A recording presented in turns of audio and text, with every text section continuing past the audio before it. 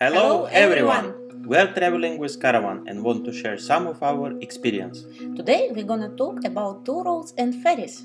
and how to plan your road without extra expenses and stress during your road trip. Let's, Let's go! Toll roads. If you travel in Norway by car, you will have to use toll roads anyway.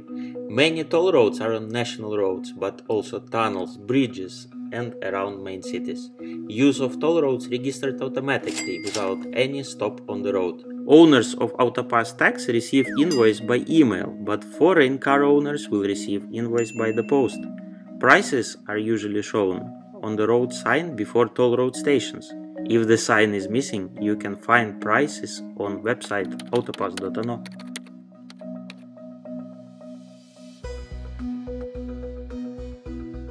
let's talk about ferries. National roads may include ferries on your way.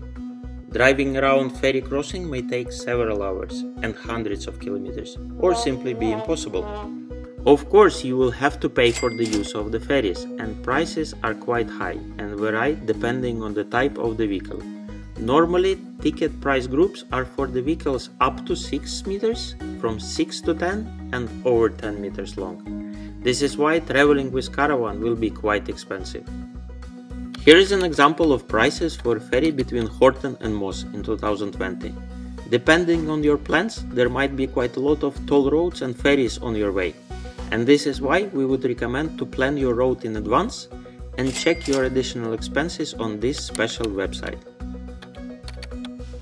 Please note that the prices for ferries are calculated for cars up to 6 meters, so if you are traveling with the caravan, better check prices on the website of ferry crossings you intend to use. And now two life hacks to save your money on the most intensive ferry crossing in Norway between Horten and Moss. Life hack number 1. If you are in Horten or in Moss, you can take a free cruise on the ferry over Oslofjord and take a walk in the city on the other side. First, park your car and take a ferry as a passenger.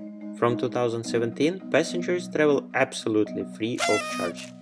On the ferry, you will have open air decks, free internet, and cafe. Life hack number 2 Traveling with caravan over Oslofjord costs 600 crowns and takes about 50 minutes.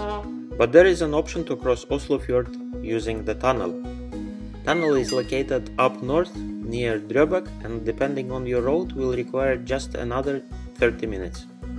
And what is most important for travelers, from 2016 the tunnel is absolutely free and open 24 hours a day. Few words about private roads. Driving off the main roads, you can often meet the sign of the private road and road barrier, and these are another toll roads in Norway.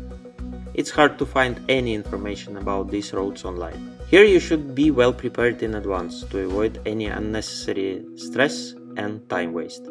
You have to pay for the use of the road, and there are three common ways to pay. First, and the easiest but least popular, credit card. Just pay and put the receipt under the front window. The second, and most common, is cash.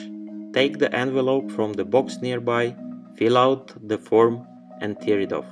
This will be your payment receipt. Put the money into the envelope and drop into the box. This is why you should carry cash traveling in Norway and don't forget about pen and pencil. Third option is to use mobile app Vipps, but unfortunately you will need an account in Norwegian bank. So if you don't have an account in local banks, don't waste your time trying to set it up. Today there is no map with all private roads, but as per our experience, most of private roads are in national parks, remote locations, or private owned properties. The key to pleasant traveling without stress and loss of time is planning, but even when you plan the whole road, prepared cash and even the pen, you should remember that traveling by roads in Norway takes much more time than your GPS calculations.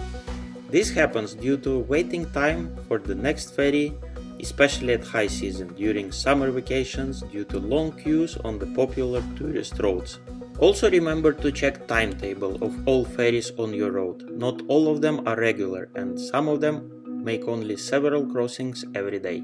For example, the busiest ferry crossing Horten-Moss doesn't have any departures from midnight to 5 am. Take into account that tunnels are often closed for maintenance at night, but maintenance of smaller tunnels is hard to predict.